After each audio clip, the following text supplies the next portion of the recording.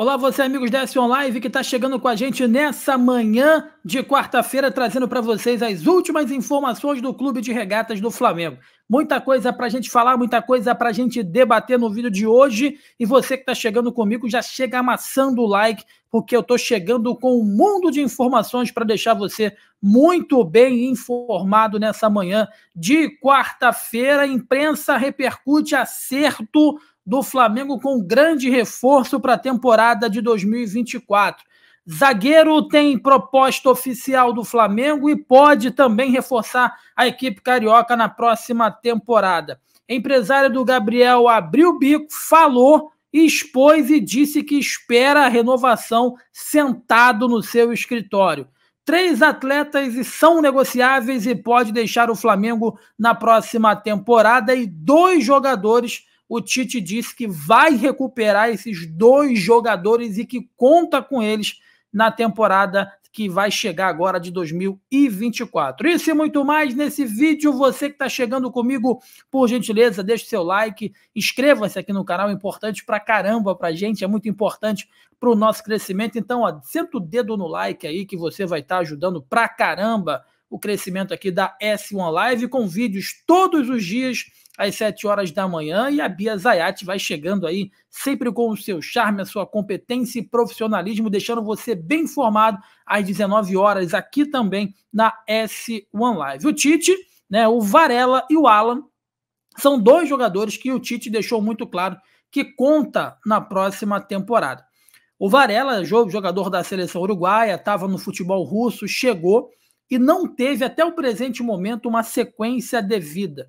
É, ele teve algumas contusões em 2023, não teve essa sequência que eu disse anteriormente, e com as atuações ruins né, de Mateuzinho e também do Wesley, o Varela surge como uma possibilidade real de titularidade para a temporada de 2024.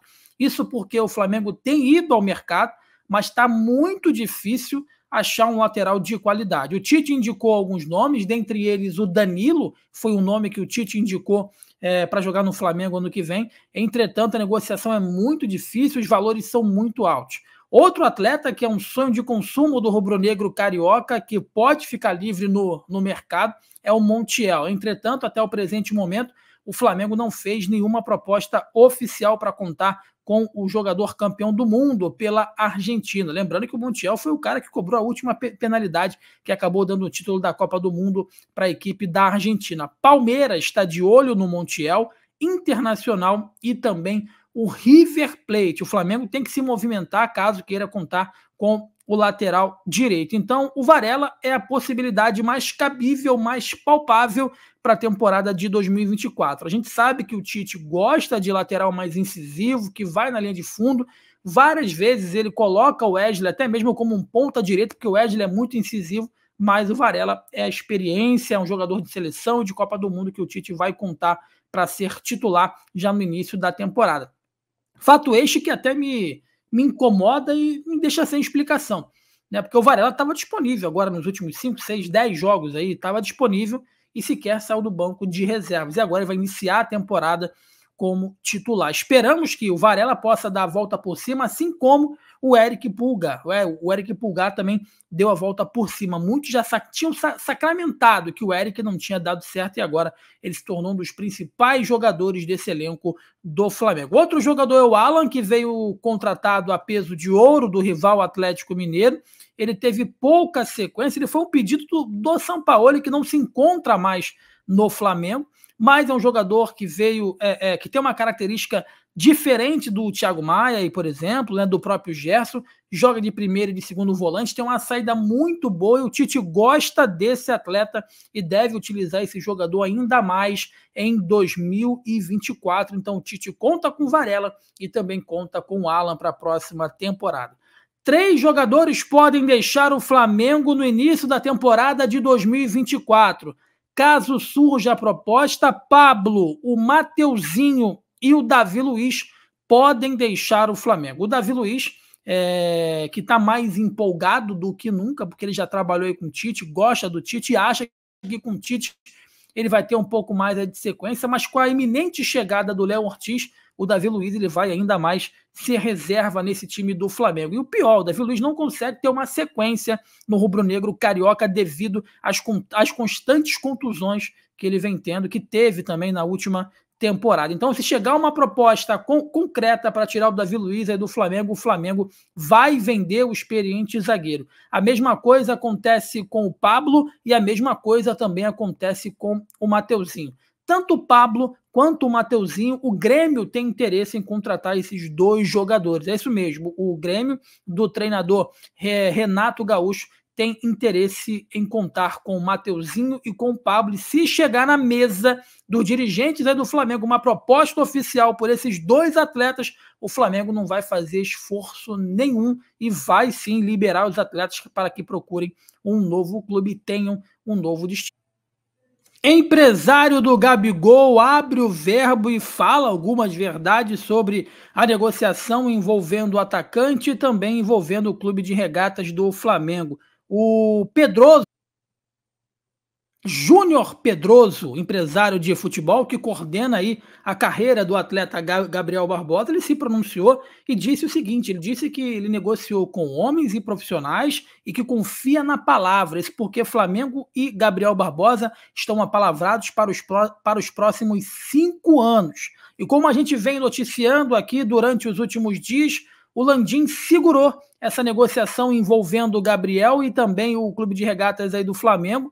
E a ideia do Landim é aguardar a temporada de 2024 para saber como o Gabriel Barbosa vai se desempenhar, principalmente no campeonato estadual, para depois voltar às negociações de uma possível renovação. E mesmo assim, na cabeça do presidente do Flamengo, Rodolfo Landim, ele quer fazer uma renovação nos mesmos moldes que foi feito com o Bruno Henrique, estourando aí no máximo três anos, não cinco, como tinha, né, como acordo verbal o Gabriel e também é, os dirigentes aí do Flamengo. Isso vai causar um desconforto, porque o Júnior Pedroso, empresário do jogador, quer os cinco anos, o Gabriel vai bater o pé querendo os cinco anos, e essa quebra né, de acordo verbal pode causar um dano, enfim. E pelo que a gente está vendo dos, das falas do Gabriel Barbosa, do seu empresário, meus amigos, eu não duvido nada que essa possa ser a última temporada do Gabriel com a camisa do Flamengo. O Gabriel quer cinco anos, o Flamengo agora acena com três anos, mas as negociações só serão retomadas na temporada de 2024 após o campeonato estadual. Léo Ortiz tem acordo encaminhado e pode ser anunciado a qualquer momento como novo reforço do Flamengo. Léo Ortiz deve jogar no Flamengo pelas, pelas próximas cinco temporadas.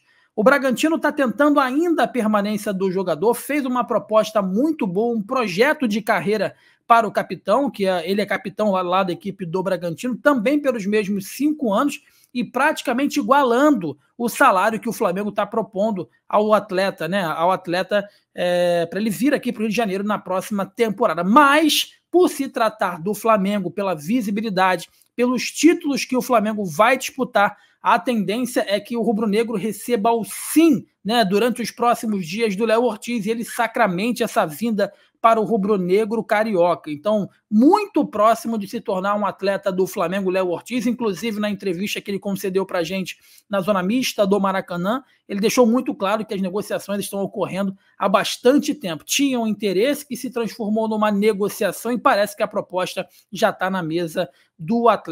A imprensa dá como certo o acerto do Flamengo com o uruguaio De La Cruz. Parece que sim que De La Cruz vai ser o primeiro reforço do Flamengo para a temporada de 2024. Diretoria do Flamengo já dá ok para que a multa ela possa ser paga. Então o Flamengo não tem mais diálogo com o River Plate e o Flamengo deve pagar 16 milhões de dólares para contar com a estrela uruguaia no elenco do Flamengo na temporada de 2024. E como a gente vem dizendo aqui, né, ao longo dos últimos meses, o Dela Cruz já vem conversando com o Flamengo há muito tempo há muito tempo, já tem um acordo com um acordo verbal há muito tempo.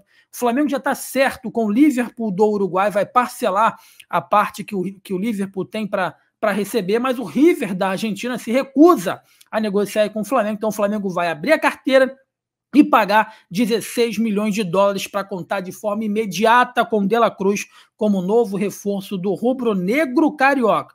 Tá feliz? Acha que Dela Cruz chega para ser titular? E a pergunta que eu te faço é a seguinte: com a chegada do Dela Cruz, quem vai perder espaço nesse elenco do Flamengo? Gerson? Everton Ribeiro? Luiz Araújo? Deixa, no, deixa aí nos comentários, tá bom? Você que está comigo, por gentileza, deixa o seu like, inscreva-se aqui no canal, que você ajuda pra caramba a gente, ajuda muito o nosso crescimento. Então, você que está chegando comigo, deixa o seu like, inscreva-se aqui no canal, que você vai ajudar pra caramba o nosso crescimento aqui. Lembrando que às 19 horas a Bia Zayat está de volta para te deixar muito bem informado. Então, vai no vídeo da Bia, deixa o like, deixa o seu comentário que você vai ajudar a enganjar pra caramba. Vídeos às 7 da manhã e às 19 horas. E durante o dia, live 11 horas da, da manhã. E durante a tarde tem uns cortes com os melhores momentos aí da S1 Live para você ficar sempre entretido e também muito bem informado. Eu sou Jonas Estelma, trazendo nessa manhã as últimas informações do Clube de Regatas do Flamengo para você. Forte abraço, saudações, tamo junto!